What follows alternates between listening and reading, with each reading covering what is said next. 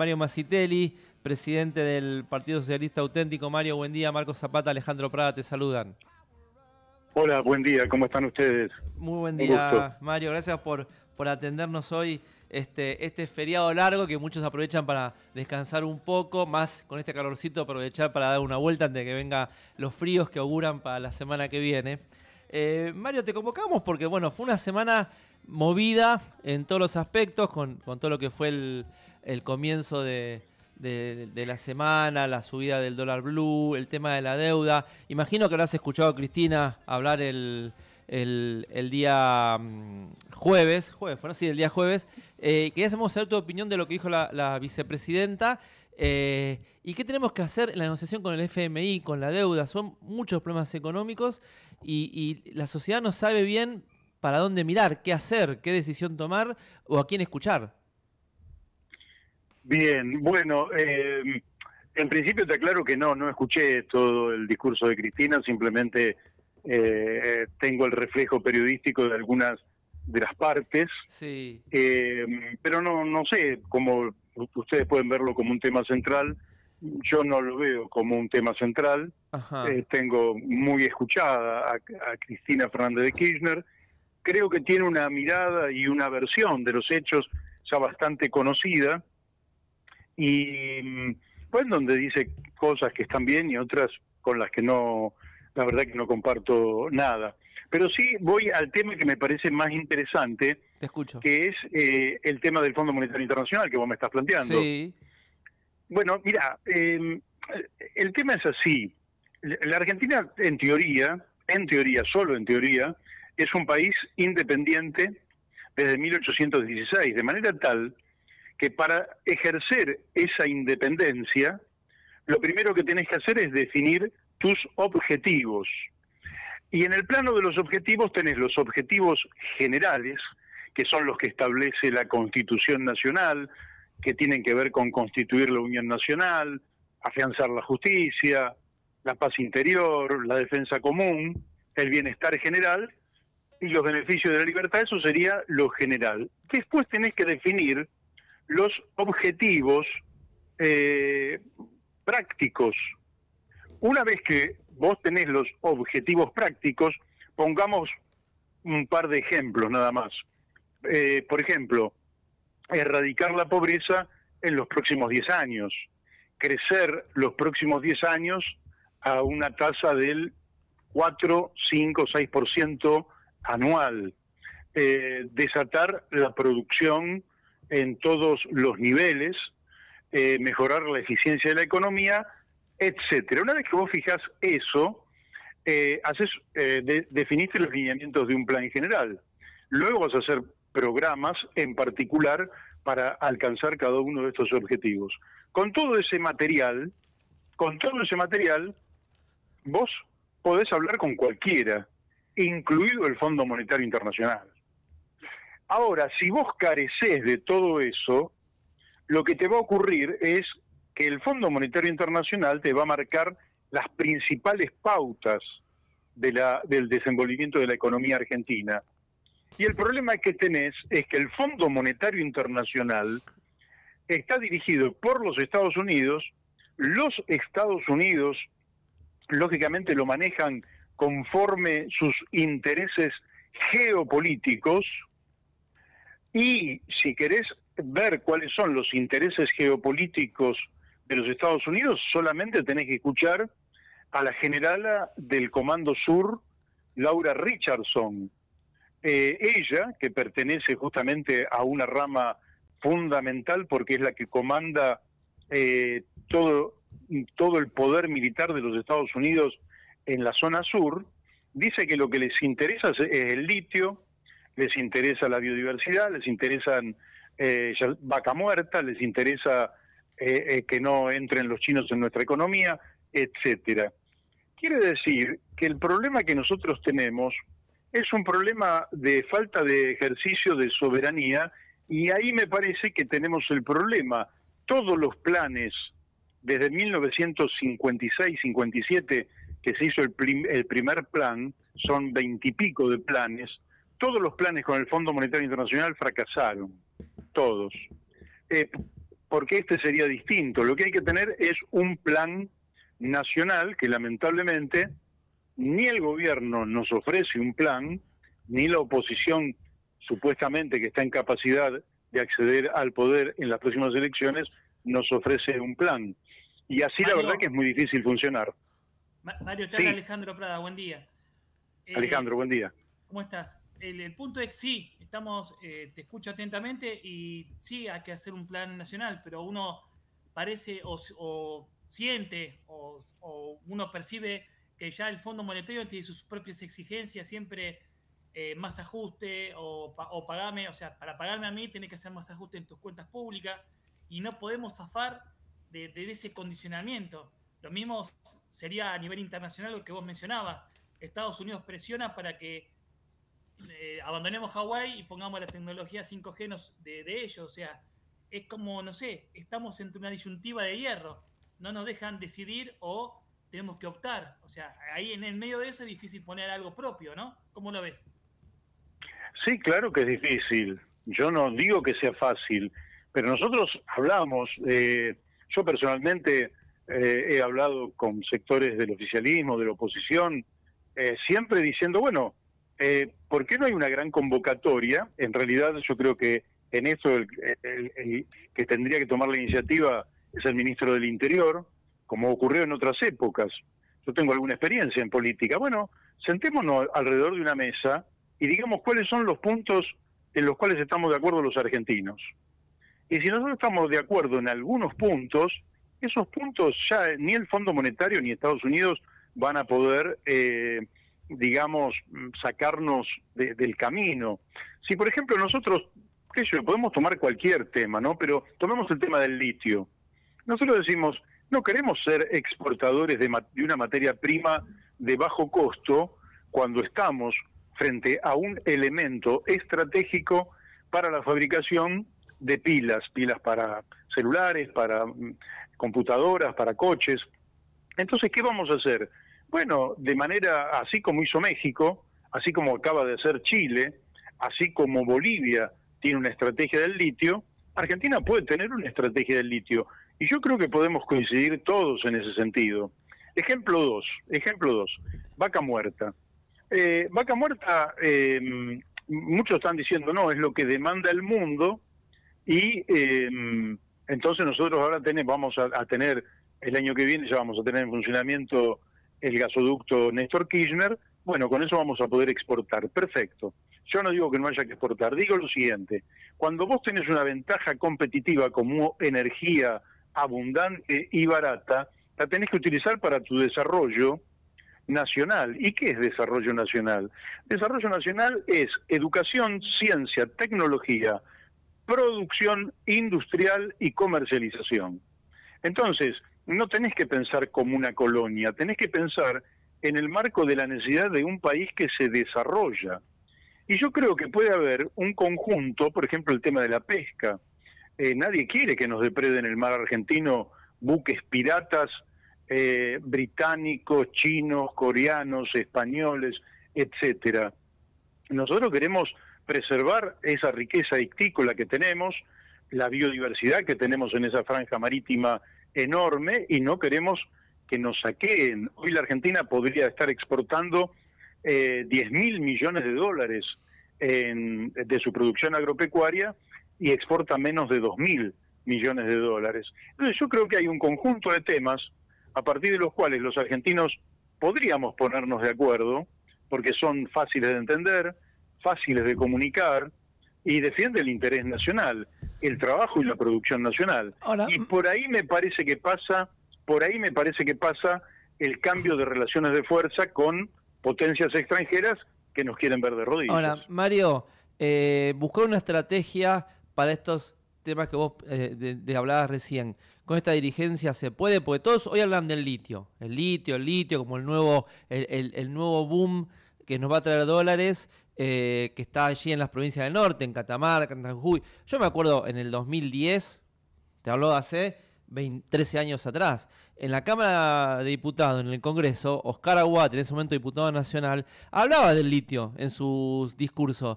Y nadie, uno no entendía nada. Yo no veía gente hablando del litio. Digo, si en ese momento, pongo a web porque sé que me acuerdo, capaz que había otro más, pero no serían más de uno, dos o tres los que hablaran del litio. Si en ese momento se hubiera empezado a pensar una estrategia, hoy estaríamos, estaremos mejor en ese tema o en otros. Ahora, con estos dirigentes actuales del oficialismo, de Juntos por el Cambio, la, irrupción de Milei, guste o no guste, está acá, ¿se puede pensar una estrategia para explotar estos recursos de Argentina que nos permitan ingresar dólares y tener un país más desarrollado?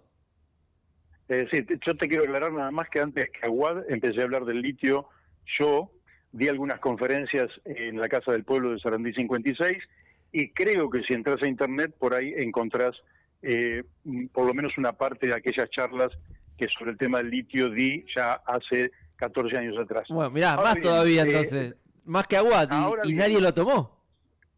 mira, vino, a mí me sorprendió porque vino gente de la Comisión Nacional de Energía Atómica, no solo a escuchar, sino a aportar ideas. Mm. Y la verdad es que yo creí que íbamos a desatar una, eh, íbamos a desatar algo más potente, pero bueno, eh, vaya a saber. La pregunta que siguiente que me haces que tiene que ver con, si se puede con esta dirigencia. Bueno, yo te diría, eh, yo te diría, a diferencia de lo que opinan algunos, es que mm, partamos de la realidad, no hay otra dirigencia. Es decir, si no es con esta, yo preguntaría con quién. Es como decir, con el pueblo argentino se puede, y no tenemos otro pueblo y me parece bárbaro. Yo creo que sí, se puede con este pueblo y se puede con esta dirigencia. Fácil, no, fácil no es, pues yo llevo muchos años en todo esto y sé de las debilidades de nuestra dirigencia. Pero yo también creo que nuestra dirigencia se mueve en gran medida eh, como sopla el viento y creo que el viento empezó a soplar eh, de manera distinta. ¿Por qué? Porque si vos tomás, por ejemplo, los últimos 32 años, la hegemonía de em, Estados Unidos fue total y el G7 gobernó el mundo eh, sin ningún tipo de contrapeso. Pero en 2023, es decir, este año, se produce un fenómeno que es el siguiente. Las economías emergentes que estaban dispersas y eran pequeñas, se reunieron en el BRIC y en el BRICS y además este año están superando eh, en PBI a las economías del G7. Quiere decir que vos tenés un mundo que cambia y en ese mundo que cambia, creo yo que efectivamente lo que viene es muy bueno para la Argentina y lógicamente tenemos e, eso bueno que se viene, hay que realizarlo con esta dirigencia política. Y las renovaciones que y las renovaciones que tenga que haber, porque también es cierto que no es una casta, como dice mi ley. Vos cada cada cuatro años renovás lo que votaste. Si vos votaste un intendente que no te gustó y cambiá y votá otro intendente y el intendente se fue, o un diputado o un presidente. No es una casta, eh, es una dirigencia política floja, muy floja, que no ha planificado, que ha improvisado, cortoplacista, eh, electoralista, eh, sin proyecto estratégico, eh, pero así todo es la dirigencia que hay y con los cambios que se avecinen, efectivamente vamos a poder sacar a la Argentina adelante. Mario, yo todos los cambios que vos planteás del BRICS, ojalá sea un día BRICSA, sería Argentina que integre ese grupo de países aunque ya fue invitada alguna vez. Pero el punto es que, bueno, ahora el, BRICS, bueno, tiene un integrante que está tomado como mancha venenosa por el planeta, es decir, a Rusia se la está dejando o se la pretende dejar del lado de todos los ámbitos, pues bueno, por el tema de, su, el tema de Ucrania. Pero a lo que voy es que, digamos, Argentina, todos esos cambios que vos mencionás, que son positivos, estructurales, pero siempre Argentina recorre todo eso, pero siempre estamos pidiendo plata. Siempre estamos, eh, más allá del nombre propio del ministro de Economía, Massa o el anterior, siempre estamos pidiendo plata. Y eso es lo que me, da un poco de, bronca, ¿no? Porque dice, ah, ¿cómo fue el ministro? Fue bien, consiguió dinero. Siempre prestado. Nunca. Es un destino. Sí, es cierto. no, no, no es un destino, es un, no, no es un destino, es un, a ver, es un plan del enemigo. Es decir, y cuando digo esto lo digo eh, lo puedo sostener, lo puedo debatir con cualquiera. Eh, endeudar a la Argentina en dólares Eh, mira, yo recorrí la Argentina de punta a punta, nunca encontré que me dijeran esta industria, este hospital o esta escuela o esta ruta se hizo con deuda externa. La deuda externa es eh, una creación artificial para someter políticamente a la Argentina y saquearla. Y ahí tenés la explicación de por qué tenemos la mitad de nuestra población en la pobreza. Lo, demás, la verdad que no tiene ningún sentido. Fíjate vos, tomemos por caso lo que dicen algunos liberales, ¿no? Eh, eh, te aclaro lo siguiente, yo creo que las cuentas públicas tienen que estar, toda mi vida lo creí, las cuentas públicas tienen que estar en equilibrio, ¿sí? Eh, así que dejo de lado la discusión sobre este tema. Pero ellos dicen que porque hay déficit fiscal, vos te endeudás. Y eso es falso. Cuando hay déficit fiscal, vos emitís pesos, porque el Estado paga en pesos. Y cuando el Estado paga en pesos y hay sobreabundancia de pesos, lo que se genera mientras el Estado está emitiendo es inflación. Si el Estado deja de emitir, esa inflación lógicamente merma y vuelve a un sistema de equilibrio. Entonces, ahora vos me preguntás, si yo tengo que pagar en pesos, ¿verdad? ¿Por qué voy a pedir dólares al extranjero con tasas de interés? Que además después voy a tener que transformar en pesos y por tanto voy a tener inflación igual.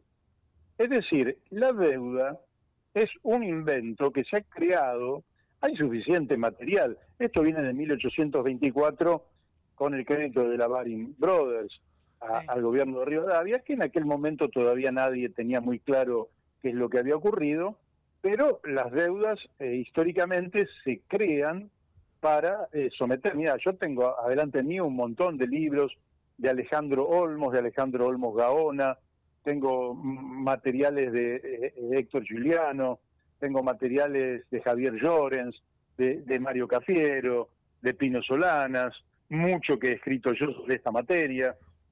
No, esto es un esto es un tema que la Argentina efectivamente tiene que abordar con seriedad. Te cuento una anécdota nada más. En 2010, cuando llegamos a la Cámara de Diputados con Pino Solanas, eh, bueno, Pino lo primero que planteó es una auditoría de la deuda externa una investigación que nos permitiera saber qué es lo que había pasado desde 1983 en adelante con una deuda que siempre pagamos y siempre debemos más. Todos los bloques, todos los bloques del oficialismo y todos los bloques de oposición se llenaron la boca hablando de la auditoría de la deuda. ¿Qué es lo que ocurrió? Absolutamente nada. Quiere decir que el problema es que en algún momento va a haber que auditar la deuda externa en la Argentina y cuando se audite la deuda externa vamos a poder dar vuelta a esa página de la historia porque sobre la base de la verdad va a poder resolverse ese tema. Ahora, en la medida que eso es una caja negra, donde eh, a la que solo acceden de manera secreta economistas locales y algunos extranjeros, es indudable que no vamos a poder resolver ese, ese tema. Ahora, el déficit fiscal, el déficit fiscal es algo que se resuelve con relativa facilidad. Y yo te digo una cosa que, es Vox Populi. Si vos tenés tres, cuatro puntos de déficit fiscal, pero tenés 40, 45 puntos de evasión fiscal, yo te digo, tan difícil es resolver esos tres o cuatro puntos cuando tenés una evasión fiscal de 40, 45 puntos y algunos hablan hasta de 50 puntos, es un problema de voluntad política. Si vos tenés voluntad política, el tema lo resolvés.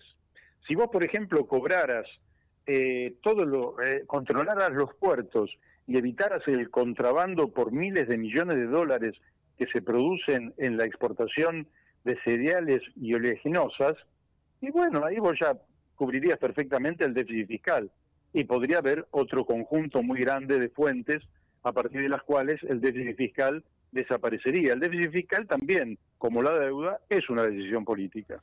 Mario, para ir cerrando, eh, la gente le encanta, le gustaría estar tranquila, eh, tener un dinero que la, haga llegar a fin de mes, que la deje proyectar irse de vacaciones, e irse a comer afuera, disfrutar la vida. En este aspecto, mi ley tira el tema de la dolarización, como diciendo es la solución de todos los males. Eh, en términos reales, la, dolarización, ¿nos puede ya servir o es eh, ahondar más en la crisis económica y cargarnos de más pobres en la Argentina? Bueno, el problema que tenés, el problema que tenés es el siguiente. Em, si vos hablas de economía, ¿no? Hmm. Lo que vos tenés que lo que vos tenés que imaginarte es una flechita, ¿viste? Y en la punta de la flecha tenés que poner tecnología. En la punta de la flecha. Abajo de la flecha pones educación y ciencia. Y arriba de la, de la tecnología pones producción y comercialización. Eso es la economía real.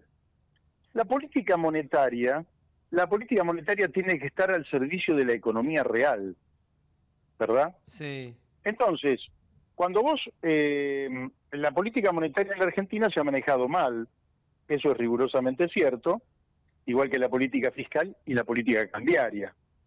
Pero este tema, te diría que hay teóricos, economistas, de enorme prestigio nacional e internacional, que han resuelto el tema y que yo siempre me pregunto por qué nuestra dirigencia no resuelve lo que ya tiene solución. Ahora bien, quiere decir, quiere decir que nadie puede creer que vos resolves un problema tecnológico, educativo, científico, productivo y comercial con política monetaria. Eso es un absurdo. Así que empezás por un absurdo. Segundo absurdo, segundo absurdo.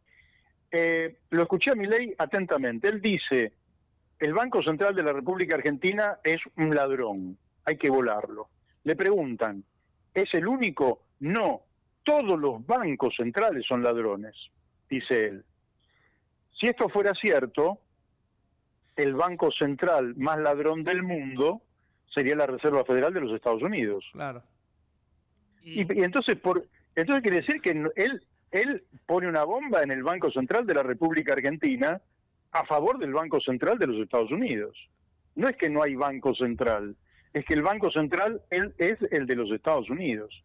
Con lo cual, lo único que haces es perder soberanía sin ganar absolutamente nada. Tercero, tercero, ¿cómo se maneja la política monetaria en los Estados Unidos? Muy sencillo, en relación a los intereses económicos y geopolíticos de los Estados Unidos. Entonces, vos lo que perdés tu política monetaria que podrías utilizarla en favor del el desarrollo del trabajo y la producción en la Argentina, esa política monetaria la perdés. ¿Y la perdés a manos de quién? La perdés a manos de un país que al que no le interesa un coño el desenvolvimiento económico de la Argentina, porque ellos quieren un territorio argentino como proveedor de materias primas. Cuarto, cuarto, es un eh, perdés el prestamista de última instancia cosa que ningún país del mundo hace, salvo economías muy chiquititas, como dicen Ecuador, El Salvador, Panamá, son economías muy chiquititas. La nuestra es una economía más grande y mucho más compleja. Entonces no podés perder el prestamista de última instancia, que es el Banco Central. Y quinto y último, que no sería lo más importante, quinto y último, mi ley ofrece tomar más deuda externa para dolarizar la Argentina. Ahora yo te pregunto, cuando falten dólares en la Argentina, porque a veces vos tenés afluencia de dólares, pero a veces tenés salida de dólares. Y en una economía dependiente como la Argentina, eh, eh, ¿por qué faltan dólares en la Argentina? Porque vos tenés extranjerizadas, de las 500 empresas más grandes del país, 347 son extranjeras y facturan más del 80% eh, de las 500 empresas, de todo ese volumen, más del 80% son empresas extranjeras la facturación. ¿Qué ocurre? Muchas de estas empresas eh, actúan en el mercado interno, vamos a poner un nombre, total, no hago propaganda, Carrefour. Carrefour compra con pesos, vende en pesos, pero cuando tiene que remesar esa ganancia al exterior, va y con esos pesos compra dólares. Por eso siempre te faltan dólares. Pues somos una economía dependiente. Entonces, cuando no tengas, no tengas dólares, la economía se hunde. Lo que nos propone Javier Milei es un, una, una estupidez inverosímil que economistas de la línea austríaca que viven adentro de una burbuja suponen que puede ser bueno. Eh, el tema, las remesas es un tema clave, vos, eh, vos estás viendo, si no, o aumentar más las exportaciones para, quiero decir, eh, ¿lo ves como un problema e, ese tema que estemos extranjerizados nuestras empresas? Pero desde luego que sí. Pero escúchame, vos fijate que los capitales externos, con Menem a la cabeza, liquidan el hogar obrero, por ejemplo, que hacía lo que hace Carrefour. El hogar obrero tenía 320 bocas de expendio. ¿Y qué ocurría? producía, comercializaba, compraba, vendía en el mercado interno y, toda la ganancia no iba a parar a, los bolsillos de un capitalista, se reinvertía en el país. En cambio, toda la ganancia de, de estos consorcios extranjeros remesan a, a, la sociedad anónima, a los accionistas que están en el extranjero. Cuando me dicen a mí, no, todas las, eh, todas las empresas deben ser iguales, yo digo, no, las empresas nacionales tienen que tener privilegio. El empresario que vive en la Argentina, que su familia vive acá, que sus hijos van a la escuela acá, que se va de vacaciones a Mar del Plata o a Bariloche o donde fuera, que, el tipo eh, invierte acá, para mí no es igual que un empresario extranjero.